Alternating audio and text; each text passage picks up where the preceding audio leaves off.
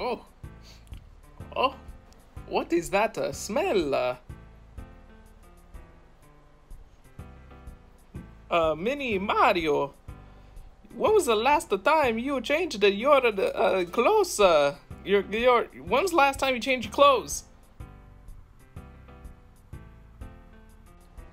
Man, don't look at me like that. We need to get we need to get to you some uh, newer digs. You you dig? You you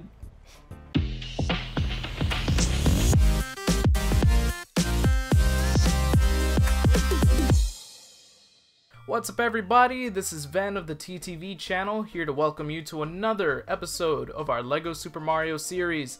Today's episode, we're going to be taking a look at all the power-up packs for the theme, which enable you to change the outfit of the LEGO Super Mario figure. And make sure that he's on so that he doesn't creep you out the whole video.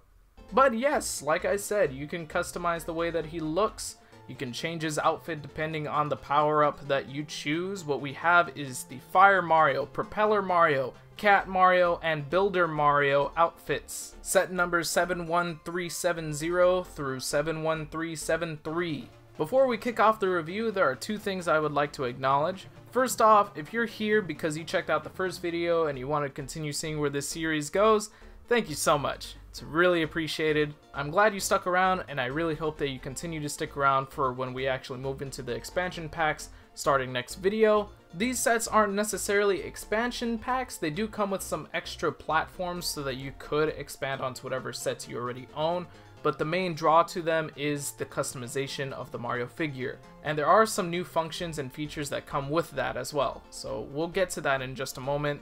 But for now, just wanted to say thank you again for sticking around. Secondly, I did want to mention something that didn't really get brought up in the first video all too much. Now, of course, we did talk about how interactive the Mario figure is and what he does when you scan barcodes, but something I didn't really go over all too much was the way that he reacts to color. The little scanner under him is a color sensor as well, and it reacts to whatever color is under him. So of course, we've seen that the LEGO Mario figure has this little display on his chest. Now that will actually change depending on the color platform that he's standing on. So for instance, if he's standing on a yellow platform, then the display is going to show a bit of a deserty landscape. Same thing applies when he's standing on green, it'll show that he's standing on grass. When you put him on a blue platform, it shows that he's in the water, and at times it'll actually play like little bubbly sounds, as if he was swimming about. And then of course, if you place him on the red, he acts like he's burning up in lava, and he dies if you keep him in there. He doesn't actually die. He'll be totally fine so long as you put him on a different platform right afterward. The reason why I wanted to bring that up is because I do feel like it is important to acknowledge it. This could lead to so many possibilities when creating custom models. So if you have some sort of custom landscape build at home, then Mario can still interact with it just based on the colors that are available. So with all that said, let's go ahead and take a look at all these boxes and see what it's like to open one of these bad boys up. These are all four power-up packs. Each box has a little blurb on it telling you about what the power-up does for Mario. So for instance, the Fire Mario box indicates that Mario gains fire power. There's roughly about 10 to 14 pieces in each box, and of course, they all specify that LEGO Mario is not included, so it is pretty clear that these are just intended to give Mario the special power-ups. That's about it for the boxes, so let's go ahead and pop off these overalls and see what we're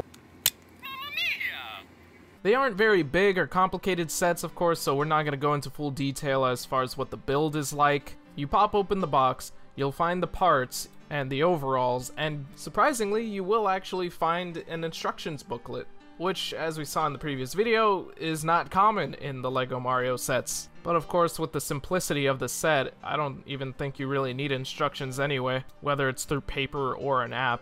Once you get Mario in his new outfit, the figure will recognize it and play a sound and show an icon on the display that shows the power-up you just gave him. Depending on the power-up, now Mario will react differently when you move him around.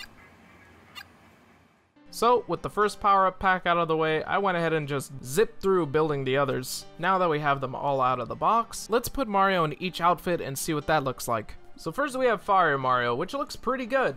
It's not entirely accurate to the game's design, considering the overalls are white instead of red and the shirt is red instead of white, but, uh, no pun intended, overall, you still get the idea. Then there's Propeller Mario, which is probably the most accurate out of the bunch. I do really like the hat on this one in particular. Then we have Cat Mario, which probably has the best amount of detail, because if you flip him around, you'll see that he has printing of the tail.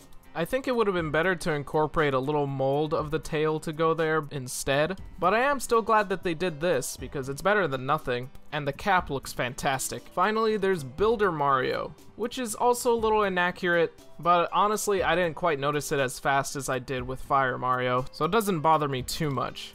Having all of these options brings me back to Super Mario Odyssey, where you could change all of Mario's costumes. I know I say that as if I haven't played Mario Odyssey in like two decades or something. You know, oh, back in my day, oh, I remember way back when. And the game came out like, what, almost three years ago?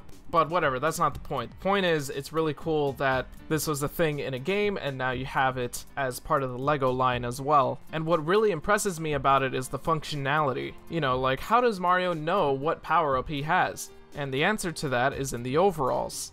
When you look at the Mario figure without the overalls, you'll notice that he has these six metallic tabs sticking out of his belly. Now, the inside of the overalls piece is actually designed to tab in on these metallic parts in order to tell Mario, hey, you're wearing your normal overalls, or hey, you're wearing the Cat Mario overalls because the tabs that stick out from this piece are configured differently depending on the power-up. And thanks to this ingenuity, Mario knows when he can stomp around with attitude, or make cat sounds, or fireball sounds. I haven't quite figured out what he does as Propeller Mario, but you know, you could still make him go whoosh. That's still fun.